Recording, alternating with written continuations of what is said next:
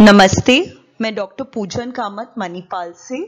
सो आज हम एक बहुत ही अच्छे विषय पे बात करने वाले हैं। सब माता पिता के मन में ये डाउट होता है कि अपने बच्चे के दांत कब आने शुरू हो जाते हैं।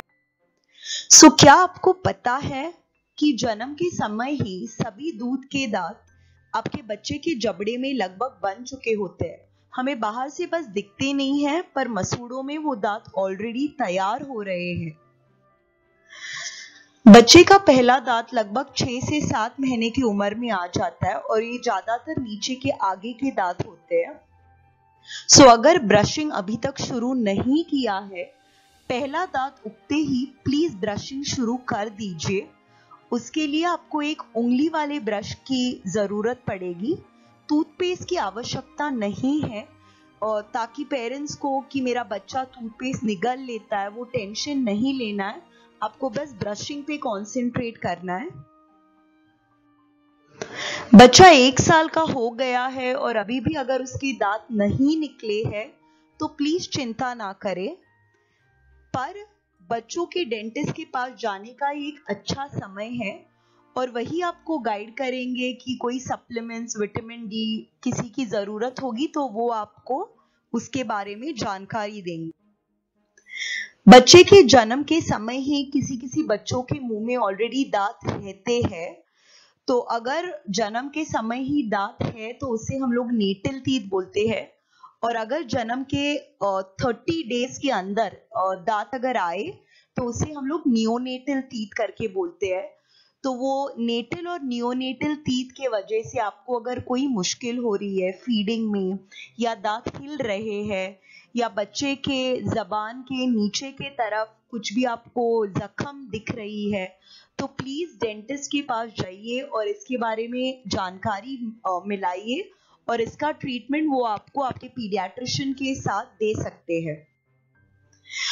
टीदिंग बेसिकली एक ऐसा फ़ेज़ है जहाँ बच्चे की दांत निकलने के समय की परेशानियाँ।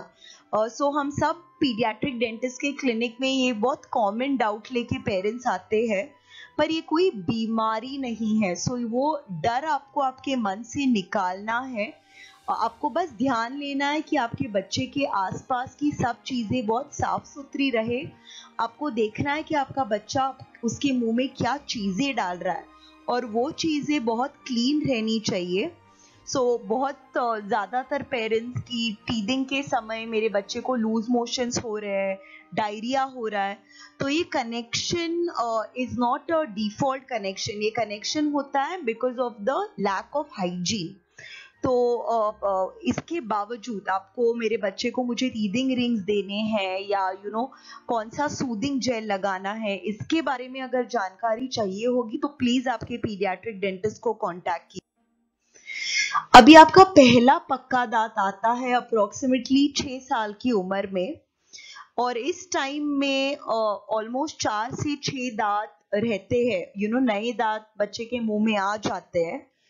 मेन इज़ आपके जो पीछे के पक्के दांत है, जो मोलर्स जिसको हम बोलते हैं, दाढ़ जो बोलते हैं और वो आ जाते हैं और वो किसी भी दूध के दांत को नहीं झाड़ के उगते तो वो किसी किसी पेरेंट्स को नहीं समझ में आता है कि ये भी मेरे बच्चे के नए दांत हैं।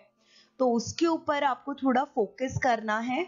तो उस हिसाब से दांतों के स्वस्थ भविष्य के लिए ये जो है वो बहुत ही ज़रूरी टाइम होता है।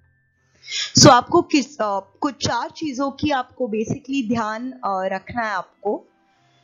सभी 20 दूध के दांत तीन साल की उम्र तक आ जाने चाहिए बच्चों के मुँह में। हर छह महीने आपको बच्चों को डेंटिस्ट के पास दिखाने के लिए जाना है। सो so, आपको मेंटेनेंस पे बेसिकली फोकस करना है। 9 से 31 महीने में दांतों के संक्रमण की पहली संभावना होती है। वैसे ही 6 से 12 साल की उम्र में दांतों के संक्रमण की दूसरी संभावना होती है। तो ये जो टाइम होता है, इसमें आपको प्रिवेंटिव ट्रीटमेंट पे ज़्यादा कंसंट्रेट करना है ताकि आपके बच्चों को प्रॉब्लम्स ना हो। थैंक यू सो मच धन्यवाद।